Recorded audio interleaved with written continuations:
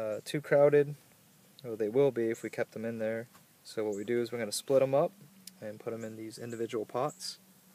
And uh, so Michael is going to demonstrate uh, some of the best practices for uh, doing this. So one of the things you want to do is not squish the plants under your hand when you're taking this out.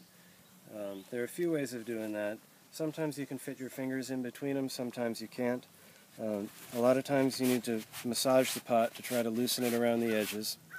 Uh, and you can find somewhere where you can support it and you pull the pot off like that. This, and now I'll show you how to separate some of these.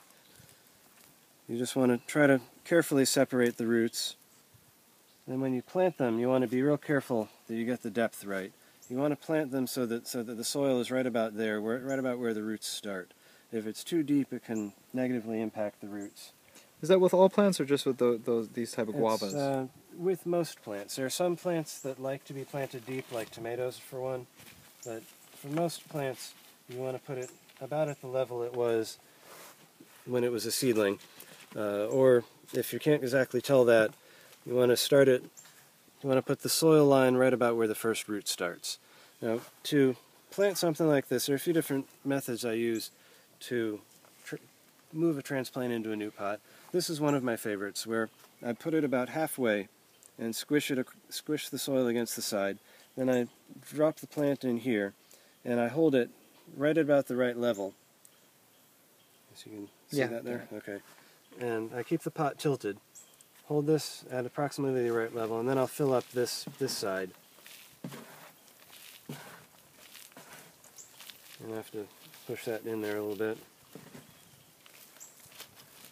And by doing that, I can get the pot filled just about right and have the plant at right, about the right depth in the soil.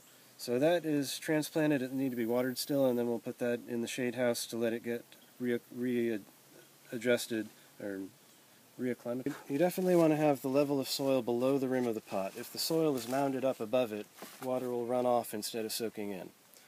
Purposes for, for squishing it against the side here is to get part of it somewhat compacted. The soil is very fluffy, especially with all this coffee chaff in here. And if we don't get it squished while it's in the pot, it's going to squish eventually, and then we're going to have half a pot with, of soil, and, and that's, that's kind of unprofessional. Uh, you want to give your plant as much soil as the pot has room for. And you want to have it at the right level. Now, soil compaction is generally considered a problem in forests and whatnot, but we're just pressing on it with our fingers. We're not driving trucks over it, so that's it's a different sort of compaction. We're we're just pressing out the, the air spaces and the extra fluff. And you see, I'll, uh, let me dig down here a little bit and show you where the roots start. So you can see like pretty much at the top. Pretty much right at the top there. So that's I, I got that pretty much right where I was aiming. Uh, it's a, the perlite is a is a it's a expanded volcanic glass, and the vermiculite is an expanded mica. And I think they actually have to heat the mica to get it to puff up. I'm not really sure. But that's that's the stuff that looks like little accordions. And what does that do again? It holds in the moisture. And aerates it a little bit. Yeah, it's uh, it provides a good aerated medium for the roots to grow into. It doesn't it keeps them from getting too saturated. Because the roots when the new roots when they're growing need a lot of air. Put those, those cut ones back in. So this is what we just uh, got all those cuttings from, and as you can see, these generally need to find a good home. What we're doing here is uh, we're taking cuttings and uh, rooting them, which is like, an, like a natural form of cloning. This is one of the main methods that we use to propagate our plants, is to um, to root them uh, from cutting, and we'll cover them up with a bag, and uh, and encourage the root growth, and then we'll uh, dig them back up and separate them once they uh, start getting uh, the roots start to take. And the next step is to protect these from drying out. We put a bag on top of them, and try to pull this down as not as tight as we can, and that helps reduce the amount of water that will pool up there. Sometimes I try to make sure there are enough cuttings poking up to hold the bag up so that the water sheds off. This is going to fill up a little bit, but hopefully it won't be too bad. I can make a, a knot, that, a slip knot that will, that will tighten on here. A lot of times when we're doing this with figs or mulberries and we need to know what variety it is, we'll hang a tag on here or we'll drop a tag inside there. But for right now this one's done and it goes into the shade. If we were to leave this out in the sun it would cook all of the cuttings.